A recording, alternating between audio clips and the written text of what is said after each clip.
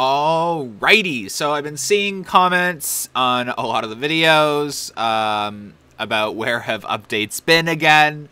Um, I just want to make it clear one more time. I swear to goodness, I am not not doing updates. I'm going to show you guys. I literally went to go fly the drone just to show you um, and prove there's literally nothing to film at the current moment.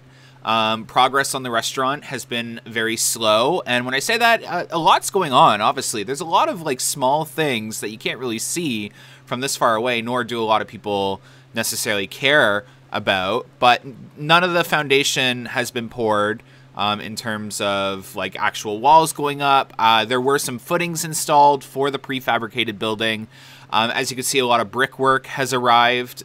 Um, that's going to be for the pathway around the restaurant as well. Nothing going on with Kingswood, but literally, I'll try and insert a super zoomed in shot of the restaurant area right here. Um, there's there's literally not much to cover. We're not going to see anything outside of that as well right now. Winter is in full force here in Ontario and Canada, uh, so it's just a little too cold and too much snow uh, for any of the small side projects to go on if there were to be a repainting of a roller coaster potentially.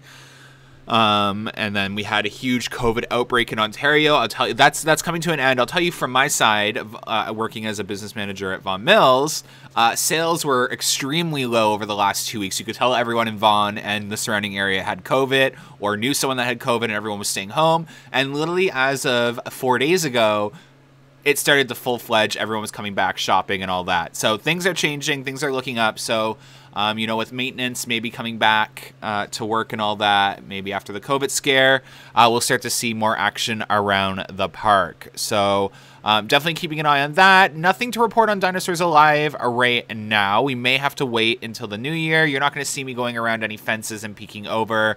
Um, it's just a huge violation to the park, so we won't be going around the other side of the park and peeking over the fence, even though technically we would be allowed to. It's just not, um, you know, the park has asked us not to peek over any maintenance areas, uh, fences like that. So we obviously won't be doing that on our end. Um, but yeah, nonetheless, just wanted to show you guys. I'm not hiding any updates from you. I promise if you see a drone update from us, it means something's happening. If you don't see a drone update from us, nothing's happening in the park. We will be there if something's happening. Thanks so much for watching, guys. Have a good one. Bye.